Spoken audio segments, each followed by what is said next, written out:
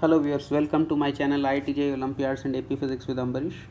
So today uh, I've brought another challenge from uh, Jaan Kalda's IPHO guides, uh, uh, the mechanics handout, question number 2. It's a very interesting problem. Uh, so uh, I'll read out the problem and then if you want you can try it out and then you can have a look at my solution. So here's the problem. On an incline with slope angle alpha, there lies a cylinder with mass m its axis being horizontal. So this is the cylinder and here's the incline. And incline has got an angle alpha and the axis of the cylinder is horizontal okay? A small block with mass small m is placed inside it. So here we have placed a small block and its mass is small m. The coefficient of friction between the block and the cylinder is mu. So mu is the coefficient of friction between this block and the cylinder. Please remember it's not with the incline. It is between the block and the cylinder. That is given as mu. The incline is non-slippery so you do not have to worry about slipping happening on the incline. Uh, here you have to uh, you have been given uh, the coefficient of friction is mu okay? What is the maximum slope angle alpha for which uh, for cylinder to stay at rest? So we have to find out the maximum possible angle of uh, alpha so that cylinder does not start rolling. The block is much smaller than the radius of the cylinder. So this is the problem if you want you can try it out. I'll get into my analysis right away. So let's see. So uh, if the cylinder is to stay at rest so we can uh, think about the contact point uh, where the cylinder is touching the inclined plane. And we know that about this contact point only two forces will have torque. One is the mg of the cylinder and the other is mg of this uh, small mass m and these two torques must balance. So that's what i've written. Realize that the torque of capital mg must be balanced by the torque of small mg about point a. So that's the first thing. Now think what will happen as you increase the inclination. What will happen to the torque of capital mg see as you increase the inclination see uh, the distance between the uh, point a and this uh, vertical passing through the center of the cylinder that distance is r uh, sine alpha right? So horizontal distance of capital mg from vertical through a is r sine alpha. So as you increase alpha this horizontal distance will increase okay? So as alpha increases arm of capital mg increases. Therefore to restore the balance arm of small mg must also increase. So we also have to increase the arm of the small mg so that balance is restored okay? And how will you increase the arm of small mg from point a? You have to move this further away from point a so what would happen if you move it further from point a but uh, you cannot keep on moving this uh, indefinitely from point a? Why? Because if you take it too far away then it will start slipping. Because when this angle becomes equal to angle of repose then this will be at the verge of slipping and if you cannot take it any further okay? So maximum you can take uh, m away uh, in such a way that the tangent of the circle is at the angle of repose from the horizontal. So that's what i've written so as you increase alpha, this mg capital mg torque increases and therefore you have to move small m away. Okay. So to increase the arm of small mg, m must be slid along the circular surface farther away from a.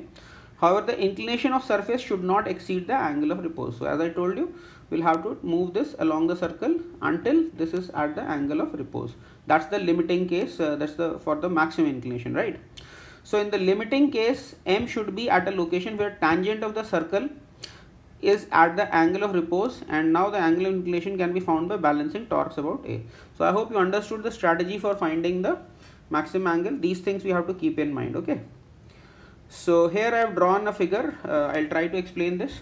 So let this be the position of small m and uh, I have drawn a tangent through this and the tangent should make an angle of uh, angle equal to angle of repose uh, in the limiting case and we know that uh, when this is tangent is at angle of repose then tan theta of repose is equal to the coefficient of friction mu. So this tan, tan theta r is mu. Okay.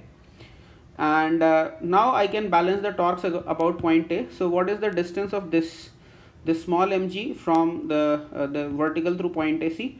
Uh, this if this ang angle is angle of repose, this is 90 minus angle of repose, and this is 90 minus angle of repose. This angle is 90, so this whole angle is uh, angle of repose again. So this horizontal uh, distance is r sine theta and this much horizontal distance is uh, this horizontal distance uh, okay uh, just a sec just a sec. So this is r sine alpha and this whole distance is r sine theta yes. So this horizontal distance is simply r sine alpha uh, uh, alpha and this minus r sine theta. I hope you got this. Let me uh, speak it nicely again. So this is OB and this is the horizontal projection. So this whole distance horizontal distance is capital R sine of theta r and this much horizontal distance is capital R sine of alpha because this angle is alpha. So I was interested in this much horizontal distance. So this is just the subtraction of the two. So that's what I've written. Small mg that's this uh, force and r sine theta repose minus r sine alpha that is the horizontal distance should be equal to now what about the perpendicular distance of this capital mg capital mg is acting through the center and this distance is capital r sine alpha so this is equal to mg capital r sine alpha now I can just rearrange this equation to find the value of sine alpha. So sine alpha into capital M plus small m, this m will go there and this is this m sine theta r and then you get sine alpha as m upon m plus m into sine of theta repose. Now what is sine of theta repose? So you see tan theta repose is mu, so sine theta repose is mu upon under root of 1 plus mu square. Okay, so that was my analysis uh, of this problem, Jaan Kalda challenge uh, uh, on a challenge from mechanics handout challenge number two. Uh, I hope you uh, like this analysis and if you did like this analysis please do give a thumbs up to my video. And please share this video as much as possible through WhatsApp groups, Telegram groups, Discord servers or whatever medium you use for networking with your fellow students preparing for JEE or Olympiads.